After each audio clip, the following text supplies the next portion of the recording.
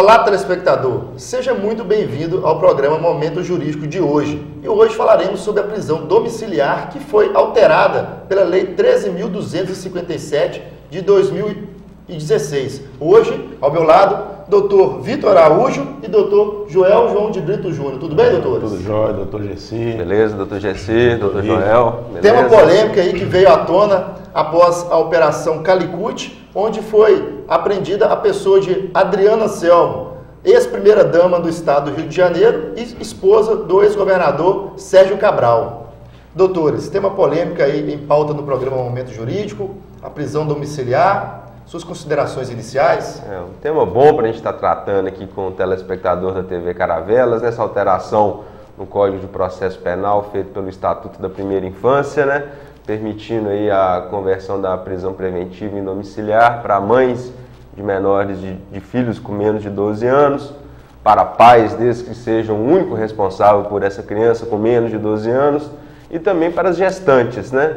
Então a alteração que vem aí é, é, privilegiar né, a dignidade da pessoa humana, algo muito bom para o nosso ordenamento jurídico. Considerações iniciais, doutor Joel? Então, é, veio à tona aí esse tema, o caso da prisão da Adriana Ancel, né, nosso, bem falado pelo doutor Gessi, na, na Operação Calicut, então está na mídia.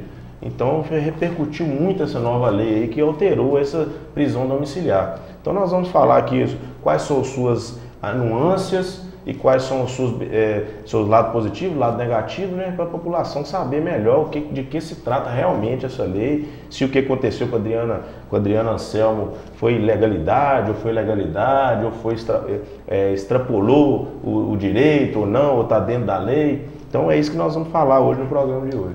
A prisão domiciliar já tinha sido instituída pelo Código de Processo Penal através da Lei 12.403 de 2011. Entretanto, foi alterada pela Lei 13.257 de 2016, onde acrescentou, né, doutores, mais duas possibilidades da conversão da prisão preventiva em prisão domiciliar e também alterou o inciso 4, onde era disponível, era permitido somente a prisão domiciliar para as gestantes acima do sétimo mês de gravidez e com ou se a gravidez era uma gravidez de risco, né? Isso. Aí hoje vem essa alteração da lei 13.257, onde colocou só gestante. Colocou somente a gestante para poder converter essa prisão em domiciliar e acrescentou o inciso 5 e o inciso 6. Exato. Na, na, no artigo 318 do Código de Processo Penal. Comente, doutor. É, não se trata de um direito né, garantido à, à mulher presa. É uma faculdade que o juiz tem né, de analisar em cada caso concreto para saber se a pessoa que está presa tem direito a esse benefício. Né? Então deve-se analisar alguns critérios, por exemplo, a questão da mãe, basta que ela tenha um filho menor de 12 anos. O pai, além de ser uma criança menor de 12 anos, ele tem que provar que é o único responsável por essa criança. E o juiz avalia, dentro do caso concreto, as circunstâncias né, do, do crime, né, as coisas que estão imputadas aí ao agente, se ele teria direito ou não. Uma das coisas que é avaliada, por exemplo, é, são os bons antecedentes, a primariedade né, do, do réu, para ver se ele tem direito a esse benefício concedido pela lei de um dos, a prisão domiciliar. Um dos pontos mais questionados nessa lei, doutor Joel, é se existe obrigatoriedade ou não do magistrado. Como muito bem pontuou é. doutor Vitor, é, a, a doutrina entende que não é obrigatória essa concessão dessa prisão preventiva. Essa prisão é, objetivo, é o, realmente o objetivo da lei não é dar um direito, é um direito objetivo para to, todo acusado, todo, todo preso preventivamente de ter esse direito. É uma faculdade que o juiz tem, ele tem que analisar vários outros requisitos. O, é, é, então, esse, esse, direito que essa, essa Lei 13.257 é, é, é, adicionou né, no artigo 318 do CPP, ele é, ele é um requisito mínimo, eles tratam de um requisito mínimo para concessão, mas não um requisito objetivo. Então, tem, é, além, além de analisar de esse requisito, tem que, ele, ele, ele tem que analisar se a primariedade, o bom antecedente, além disso, ela tem que, a prisão domiciliar tem que neutralizar o que ensejou a prisão preventiva. O que acontece? Tem que ser analisado, como o, CPP fala, a conveniência da instituição criminal, a aplicação da lei penal. Os requisitos é, previstos no artigo 312 isso, do Código 312. Além de analisar o, a, o que a lei estabeleceu, o requisito que a lei estabeleceu, deve ser analisado outros requisitos para que seja concedida essa visão domiciliar. Então não é um direito é, que, que é direito objetivo do, do, do, réu e nem do acusado. É um, é, uma, é um requisito mínimo a ser analisado pelo magistrado a, em cada caso concreto. Isso quer dizer então que além do magistrado, quando for analisar aquele caso concreto, ele tem que verificar se a pessoa do réu que está preso preventivamente ele preenche os requisitos que a lei pede, que está descrito naquele rol taxativo. Isso. E, tal, e também questões subjetivas, no caso, condições pessoais do réu. pessoais do réu, isso. Se a soltura dele, aliás, a conversão da prisão preventiva dele em domiciliar prejudicar de alguma a forma ordem pública, a, ordem pública, a aplicação da lei penal, isso. a conveniência da instrução, instrução criminal. criminal. Isso quer dizer então que o magistrado não tem obrigatoriedade nenhuma. Sim. E isso é, é uma situação talvez até complicada, porque são vários os casos, vários os interessados, principalmente quando se trata de mulheres. Quase todas as mulheres que estão presas hoje no sistema carcerário têm filhos. É, tem. Tem esse porém. Por isso, eu acho até que é por isso mesmo que a lei vem instituindo não um direito objetivo ali de, de, de, da mulher. Tem que ser analisado. O, o objetivo da lei Eu creio é... que vai inchar demais o, o magistrado ali, vai, vão ter muitos pedidos nesse sentido. Ainda mais agora que o STJ já manifestou, é, o STF já manifestou favorável, eu acho que vão ter muitos pedidos em relação a isso, em relação às mulheres. Então tem que ser analisado caso por caso mesmo. Não, é, não seria o caso, então, de beneficiar os genitores irresponsáveis. Sim. E sim a lei tentar atingir um princípio de direito, seria até o princípio da intranscendência da pena, na qual seja que a pena não pode passar, passar daquela pessoa, pessoa, do acusado. Isso. Ou seja, o menor teria o menor, pagando também por um, um crime que. Inclusive o nascituro. Se a mulher é, estiver grávida, atendendo os requisitos previstos aí no artigo é, 318 do Código de Processo Penal, no inciso 4, é. onde fala que será concedida a prisão domiciliar à mulher gestante. E isso, o direito de personalidade já é inerente ao nascituro, então isso já é... Código de Processo Civil Código reconhece o, o direito Código Civil, o Código de Processo Civil, desde o Código 16 já reconhece o direito do nascituro. Não patrimonial, direito de personalidade, que incide a, a dignidade da pessoa humana, que é o que nós estamos falando aqui. Uma das outras coisas também que essa alteração na lei, ela veio consagrar um outro artigo já previsto também na Constituição, artigo 227, né, que é o dever da sociedade do Estado garantir o direito da criança ao convívio dentro do seu seio familiar.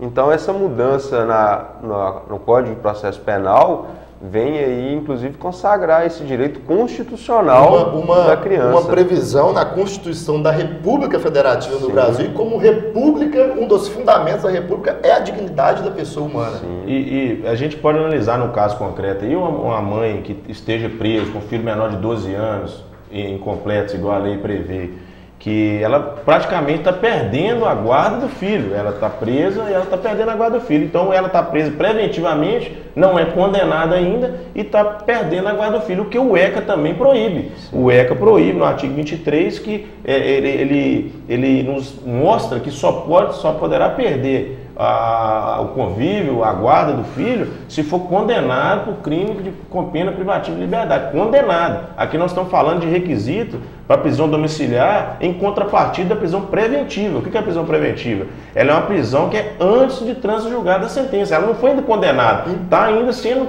julgado. E o, crime ainda tem que ser praticado contra o próprio filho. E o, e o crime, além disso, além disso, o crime tem que ser sido praticado pelo próprio filho. Ela tem que ser condenada. É pelo crime praticado contra o próprio filho, para perder essa. Isso essa é interessante o telespectador é, saber, porque a prisão domiciliar ela não pode ser é, dada a qualquer pessoa. A pessoa tem que estar presa preventivamente, ou seja, antes de uma sentença condenatória.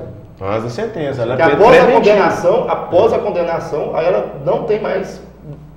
Não, não, não pode mais ser aplicada a prisão domiciliar, correto? Isso. A não ser que seja um regime semiaberto, é aberto. O semiaberto agora já tem também é, jurisprudência, tanto o STJ quanto o STF, que quando não tem a, a estrutura que, a, que o Código da Lei de Execução é, prevê, aí pode a, a pessoa que está em regime semiaberto é, ficar em domiciliar. E o aberto já, isso já é antigo. O aberto, principalmente aqui na nossa região, todo mundo fica em domiciliar mesmo, realmente. É interessante... Porque não tem casa de albergado, né? Que é, o, é, que é a lei de execução. Que é a lei de execução. É interessante o telespectador é, ter essa ciência de que a legislação atinente no artigo 318, que foi alterada pela Lei 13.257, objeto do programa Momento Jurídico de hoje, ela visa não é beneficiar os pais infratores e responsáveis.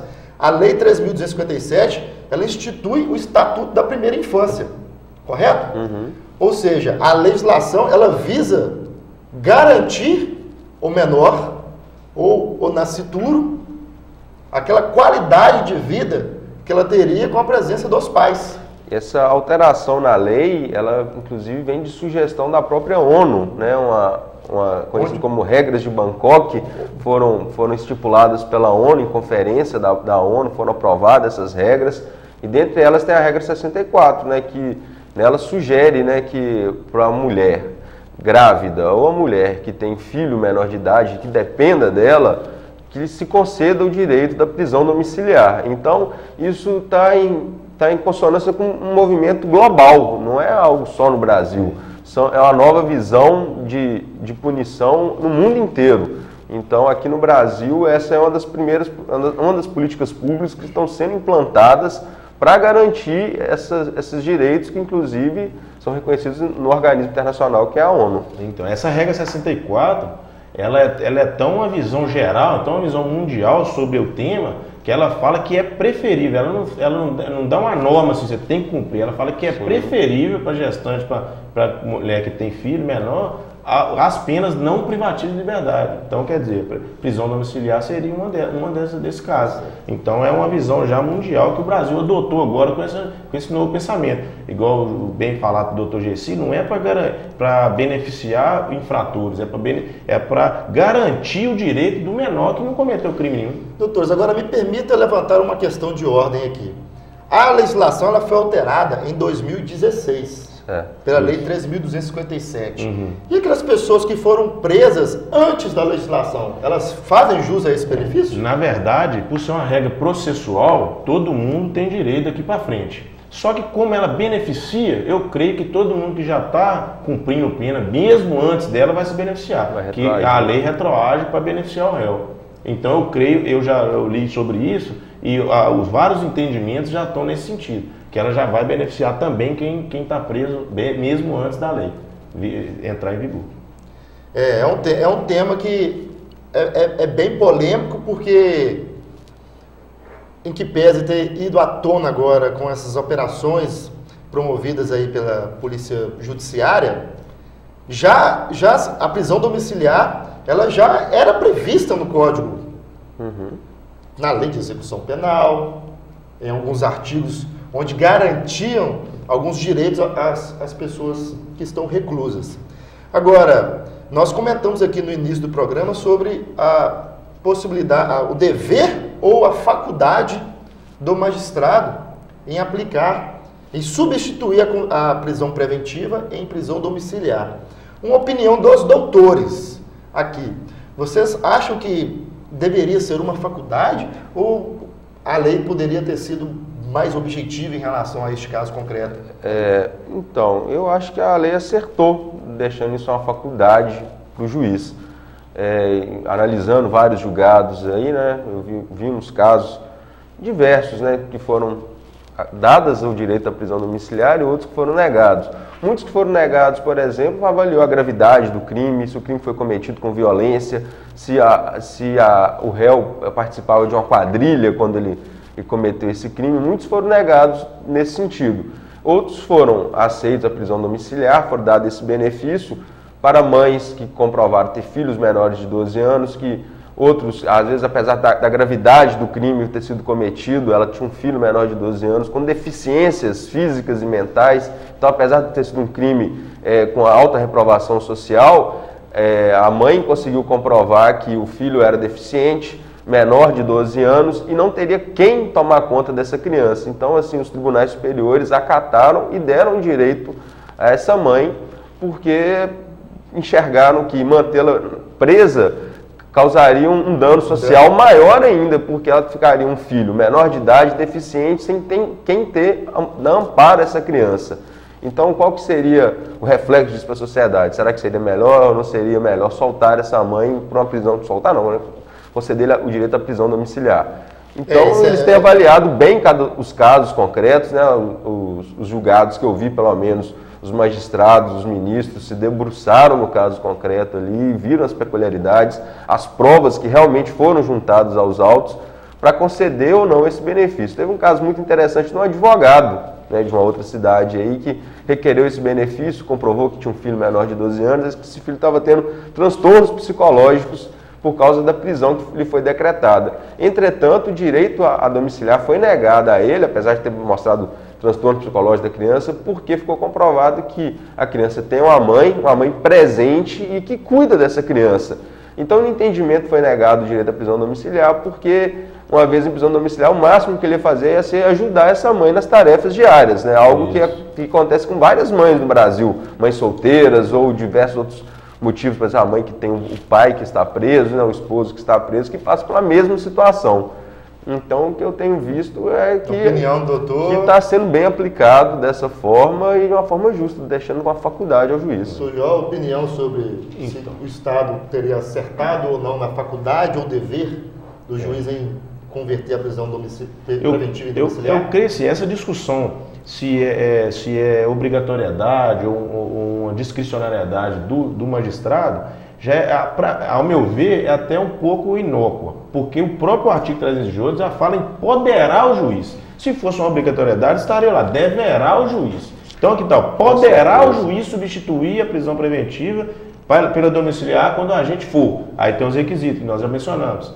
Então, se tivesse uma obrigatoriedade, estaria aqui, deverá o juiz. Então, esse, poder, esse verbo colocado dessa forma já até desmistifica um pouco essa questão. Mas, na minha opinião, é que acertou, acerta quem, quem defende a posição de discricionalidade, porque há crimes e crimes. O direito penal e processo penal, ele não pode ser engessado ele tem vários, é, é, tem vários casos concretos que devem ser analisados pelo magistrado. E ele tem um livre convencimento para analisar caso a caso. Então ele, ele estudou para aquilo ali, ele tem formação para aquilo, ele é responsável, ele é um representante do Estado para julgar, então ele tem que ter essa discricionalidade, senão ficava muito engessado e poderia causar até uma, uma revolta nacional, dependendo de cada caso, e é, se decretasse uma prisão domiciliar para certo tipo de, de réus que cometeram crimes absurdos esse, em vista é, que vai, vai de conta moral, os nossos túmulos, assim, totalmente, e seria, se tivesse engessado, teria, deveria ele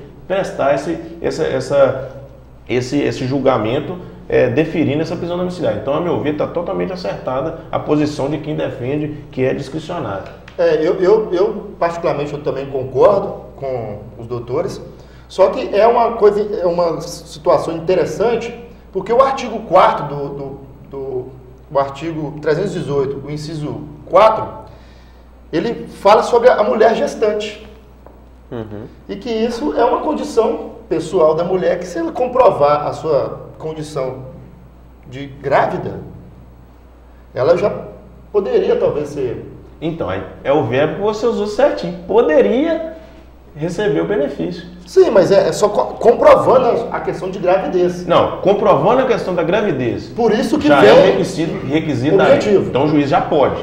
Aí ele vai analisar. Ele vai analisar o artigo, caso concreto. No caso concreto, se a questão dela está grávida, já, já, já, já, já atende o requisito que a legislação pede. É isso que eu estou falando. Então, agora assim, a gente vai é analisar. Engessado assim, gestante tem direito. A, gente, a gente vai analisar agora sobre a, a luz do artigo 312 se não é a soltura. É muito interessante colocar para o telespectador que a prisão domiciliar não quer dizer que a gente estará colocando em liberdade aquela pessoa. É por isso que é prisão ela, domiciliar. Ela, ela, vai continuar presa, é. inclusive com a proibição de se ausentar da casa. É 24 horas dentro de é, casa. Só com autorização E é interessante o telespectador também é, ter ciência de que a prisão domiciliar ela pode ser acumulada com outra medida cautelar. Por exemplo, a monitoração eletrônica?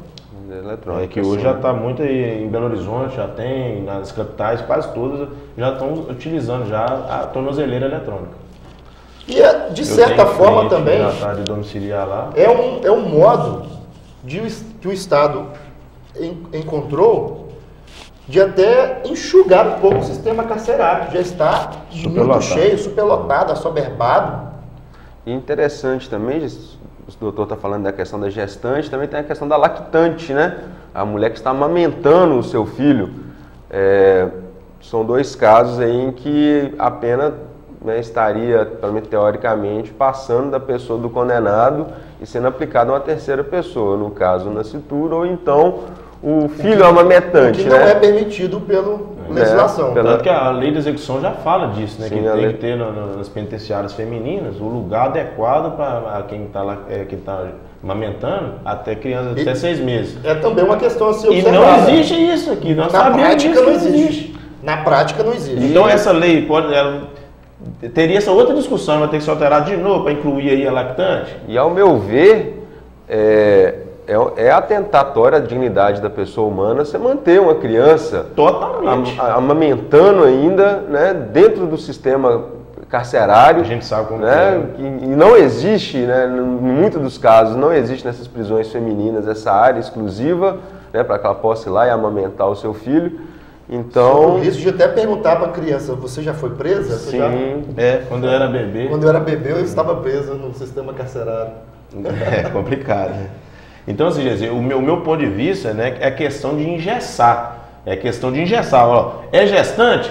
Tem que dar domiciliar. Entendeu? É isso, não pode ser assim. Se for assim, vai causar um, um rebuliço no, no direito penal, processo penal. Ela tem que ser gestante e cumprir outros requisitos. Aí o juiz vai analisar os outros requisitos.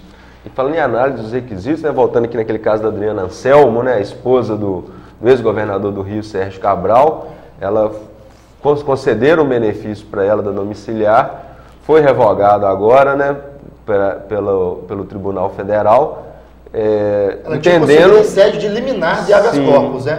é, aí aí com a, com a entendendo- sessão de julgamento, os desembargadores entenderam. Revogaram. Ela ainda está aguardando ainda ela em eliminar recorreu. porque o voto não foi unânime, foi 2 a 1 ela, vai- ela recorreu através de embargos infringentes, mas no entendimento que eles tiveram, ela, tem dois filhos, um de 11, que aí enquadraria, menor de 12, outro de 14 anos, que já não enquadraria porque tem mais de 12. Só que estava a mãe e o pai preso, então por isso foi concedido esse benefício. O tribunal revogou, analisando o caso concreto, porque está comprovado que apesar da pai e a mãe estar presa, tem toda uma estrutura familiar por trás. Então, são crianças que têm parentes, têm condição financeira, então eles têm direito às melhores escolas, os melhores psicólogos, né? não tem direito, tem acesso a isso, né? por, por ter uma condição financeira, condição familiar estruturada. Então está sendo revogado esse direito dela exatamente por isso, analisando E- o e- caso E concreto. os menores, né, nunca nesse caso, é um de 11 anos, que de acordo com a lei preenchiam os requisitos de ser menor de 12 anos, né, 12 anos incompleto, e o outro tem 14, que já foge da- do, que- do requisito que a lei trouxe. Doutor Joel, Então, rapidinho suas considerações finais. então eu, é, mediante tudo que foi dito aqui, eu creio que essa lei veio é, com dois, dois objetivos. Um, para enxugar a- a- o sistema carcerário que está falido e está superlotado e não, e não temos condições para isso, estrutura física para isso.